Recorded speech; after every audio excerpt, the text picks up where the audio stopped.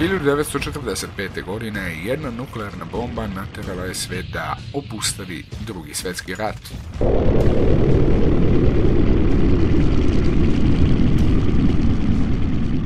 Japan i dan danas, više od 70 godina nakon toga, osjeća posljedice.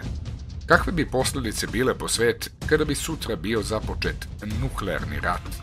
Koliko bi nama i celoj planeti Zemlji bilo potrebno vremena da se oporavi?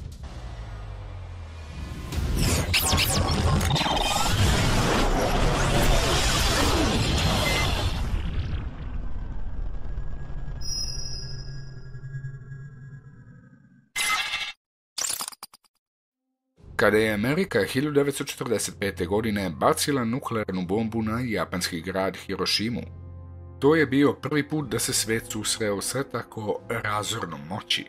U sekundi je umrlo najmanje 66.000 ljudi. Tri dana kasnije bomba je bačena i na grad Nagasaki, gdje je život istog trenutka izgubilo oko 60.000 ljudi. Međutim, posljedice se osjećaju i dan danas. Radijacija u Japanu i dalje odnosi ljudske živote. Ona ostaje u vazduhu nakon eksplozije i kod ljudi može izazivati opekotine, genetske poremećaje, kancere i druge razne bolesti godinama kasnije. A sada ću vam reći pomalo zastrašujuću stvar. Nuklearno oružje je od tada toliko napredovalo da je ono trenutno oko 3000 puta jače nego one bombe koje su bačene na Japan a trenutno u svetu postoji oko 15.000 nuklearnog oružja, od čega je preko 90% podeljeno između Rusije i Amerike. Nije teško zamisliti da bi posljedice u slučaju nuklearnog rata bile razorne za sve, i za planetu Zemlju, i za ljudsku rasu. Dakle, hajde da pretpostavimo da je došlo do nuklearnog rata, šta bi se dalje desilo?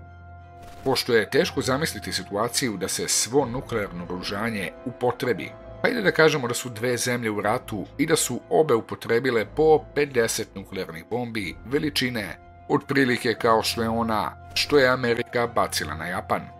Šta se dalje dešava? Naravno, trenutno bi posljedice bile fatalne po milione ljudi. Kada je Rusija testirala svoju nuklearnu car bombu 1961. godine, najveću atomsku bombu ikad testiranu. Zabeležen je zemljotres od 5 stepeni Richtera, a radijacijska pečurka bila je visoka 60 km. Sve u radijusu od 50 km bilo je zbrisano sa lica zemlje, i biljke, i životinje, i objekti. Кривой столб, поднимающийся с земли, быстро увеличился в объеме. Через несколько секунд после взрыва Диаметр полевого столба составлял около 10 километров.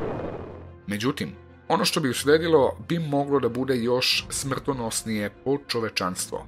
Količina energije koja bi bila oslobođena bi mogla da izazove nuklearnu zimu. Većina ljudi je čula za ovaj izraz, ali šta on uopće znači? Dim, prašina i čađ koji bi nastali nakon eksplozije bi mogli potpuno da prekriju zemljinu stratosferu, time sprečavajući sunčevim zracima da dospeju do zemljine površine. To bi veoma zakomplikovalo situaciju na zemlji. Biljke bi prve počele da umiru bez fotosinteze, kiše bi prestale da padaju i zavladala bi globalna suša.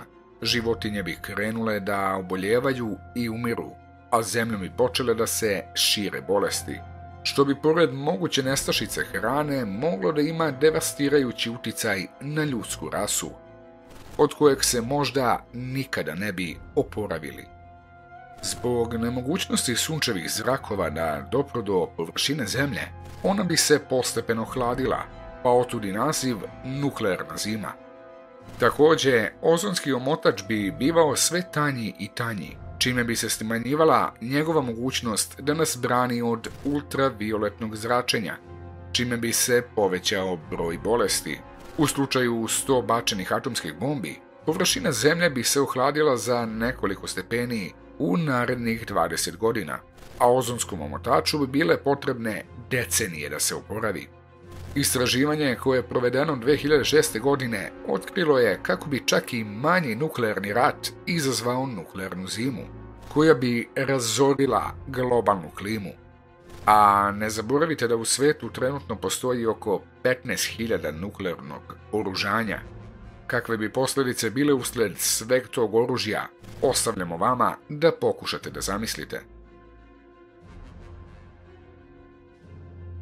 Nadajmo se da će sve ovo ostati samo ludo maštanje, da nikada nećemo otvoriti tu Pandorinu kutiju, jer potreban je samo jedan pogrešan potez, samo jedno pritisnuto dugme, da svi mogući užasi ovog sveta iz te kutije izađu